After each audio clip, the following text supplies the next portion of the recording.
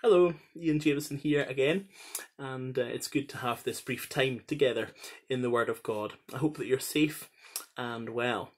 One of the difficult things about this period for all of us is just how many unknowns there are. I'm sure you know what I mean. We're we're unsure about so many things at the moment. Many of us um, we don't know just exactly how this COVID 19 outbreak started. We don't know uh, just exactly whether there will be a vaccine that will be found that will be successful. We don't know how this is all going to end. And I'm sure that for many of us too in our personal lives, this has brought about a great deal of uncertainty and unknowns. In Deuteronomy chapter 29 and verse 29, it says this, a well known verse The secret things belong to the Lord our God but the things that are revealed belong to us and to our children forever, that we may do all the words of this law. Yes, there are things which are hidden. Yes, there are things that we don't know. I'm sure that all of us are so conscious of that just now. There are so many things that we just don't know, and yet there are things that have been revealed. One of the wonderful things about the study of the Bible is that chapter by chapter, verse by verse, we are reading about the things that have been revealed. God is not a God of silence. God has spoken into our world. He's given us this wonderful revelation of Himself to mankind. And as we study the Bible, we are reading things which we can believe with 100% certainty because this is the Word of God. There are unknowns and there are mysteries, and yet we find clarity in God's word. I'd like just to turn you to those wonderful verses at the beginning of um, uh, Hebrews, Hebrews chapter 1 and verse 1 and 2, very well known to many of us, I'm sure. Long ago, at many times and in many ways, God spoke to our fathers by the prophets. But in these last days, He has spoken to us by His Son, whom He appointed the heir of all things, through whom also He created the world. God has spoken. He has spoken in His Son. He's spoken with clarity. He's spoken with totality. And He's spoken with finality. He's spoken in His Son. This is God's last word, the Lord Jesus Christ. And I'd like us to spend a few moments uh, together today thinking about things that we know for certain, things that have been revealed. And to do that, I'd like to turn you back to the epistle that we were looking at on Friday, which is the epistle to the Ephesians. And I'd like us to read some wonderful verses together in Ephesians chapter 3. And these verses are about the mystery, the mystery of Christ you know, mystery is a, a, wonderful theme in the New Testament, something that we find coming to the, the surface of the page in a number of different New Testament books, but particularly in Ephesians. I think there are seven references to um, the mystery in Ephesians, and you can distinguish the different mysteries of the scriptures. And yet, in a sense, uh, in the plans and purposes of God, all of these elements of the mystery and mysteries are all directed in the same way, the same direction by the same God. So, Ephesians chapter 3, and let's read from verse 1. For this reason, I, Paul, a prisoner for Christ Jesus on behalf of you Gentiles. So remember that he's writing this from a prison cell. We may feel constrained and constricted at the moment, but just imagine how Paul would have felt there in Rome in prison. Assuming that you have heard of the stewardship of God's grace that was given to me for you, how the mystery was made known to me by revelation, as I have written briefly.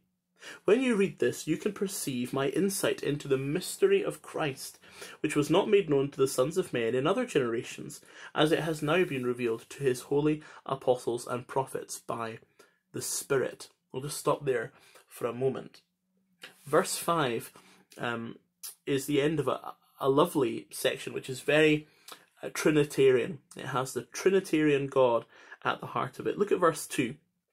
It says in verse 2 that this is the stewardship or dispensation of God's grace. God's grace.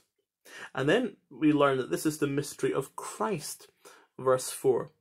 And then we learn at the end of verse 5 that it's revealed by the Spirit. By the Spirit. So it's a mystery concerning Christ, the Son, it's something which God has revealed, and that revelation is mediated and done through the Spirit. Wonderful. What is this mystery? Well, we learn in verse uh, in these first five verses of the chapter that a mystery is not something mystical, not something um, esoteric or secretive, but something that wasn't revealed in Old Testament uh, period and has now been made known. One of the wonderful things um, about studying the Bible is that as you start uh, from Genesis and you read through uh, to the New Testament, you find that there is a wonderful progress of revelation, that God reveals himself in stages, he progressively reveals himself, and in Christ we have this wonderful fullness of revelation of God. So, what is this mystery? Verse 6 goes on to explain it very clearly indeed. This mystery is that the Gentiles are fellow heirs, members of the same body, and partakers of the promise in Christ Jesus through the gospel. Absolutely stunning. I'm sure that many of you are aware of the distinction between Jew and Gentile. Gentiles are those who are not Jewish. God is the God of Abraham, Isaac, and Jacob, God who established the nation of Israel, who has made to them specific and eternal promises. God still has a very unique relationship with the Jewish nation today and with all of those who are descended from Abraham, Isaac, and Jacob. And yet, and yet, we read here and in other places too in the New Testament, Romans 9 to 11 particularly, that we, and I'm including myself here because I'm a Gentile, that we Gentiles have been brought into the blessing that God had in mind. What a wonderful thing. What an amazing truth that we have been brought in to the blessing. Fellow heirs, members of the same body, partakers of the promise in Christ Jesus through the gospel we live in a day and generation uh, thousands of years after the Lord was here. And Pentecost is a long time ago now. And we are used to the fact that the church worldwide is perhaps, I don't know, 99% Gentile now. And there are thank the Lord, many Jews who have come to place their faith and trust in the Lord Jesus Christ as their own Messiah and been born again and are now part of this one new man.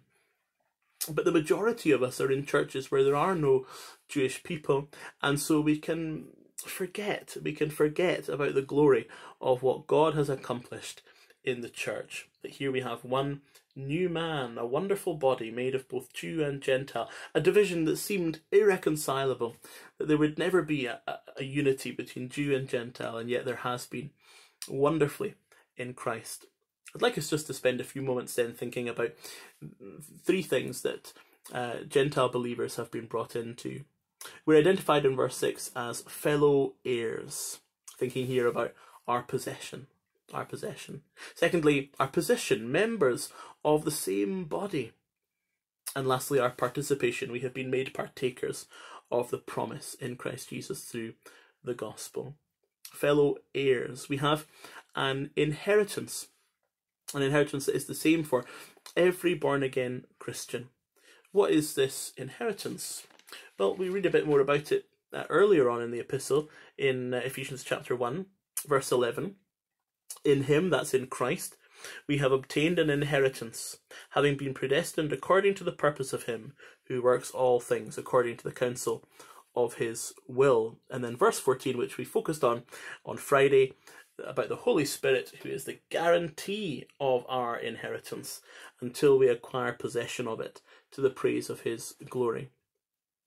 What is the inheritance? Well, it uh, encompasses a number of things. It encompasses our future glory in the Father's house, according to John 14, and then on into the new heavens and the new earth in the future. But you know, Christ and the gospel. Uh, Christ is not a means to an end, he is an end in himself. Our inheritance chiefly is God himself, is the person of Christ. That is our inheritance first and foremost. Yes, it encompasses heaven. Yes, it means future glory. But first and foremost, it's Christ Himself. It is coming to know God and coming to be able to call Jesus Christ your Saviour. I hope that's something that you can say today that Jesus Christ is your personal Lord and Saviour. It's possible that there could be people watching this video who have never yet been born again. Never yet placed their trust in the Lord Jesus Christ as their Saviour. If you've never done that, can I plead with you to do so today without any further delay? The Lord Jesus Christ is the only Saviour from sin. We're all sinners and we need a Saviour. And God has provided a way of salvation in His Son, the Lord Jesus, and His death upon the cross to pay the penalty that sin deserved. And if you will place your faith and trust in Him and uh, take Him as your Lord and Saviour, you will be saved and you will come into the blessings that we're discussing here today. So we have been made uh, heirs, fellow heirs of that inheritance. You know, it's wonderful to compare that with um, the human concept of inheritance. You know, usually we're used to the idea that the, the older, the father, if you like, dies and the son inherits. And of course, uh, in the gospel, it's the son who dies. It's the son of God who dies. And yet, of course, he now lives forevermore, and we are able to partake of his inheritance. We're also made members of the same body. An amazing thing, a wonderful truth that we've been brought in, both Jew and Gentile, into the same body. I've never met you, and you've never met me. If you're a, a born again Christian, then you and I are in the same body.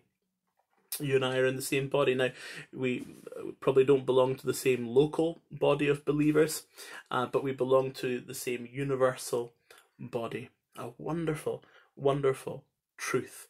And it's great for us uh, during this time of lockdown to lift our eyes to that reality that we all belong to one body.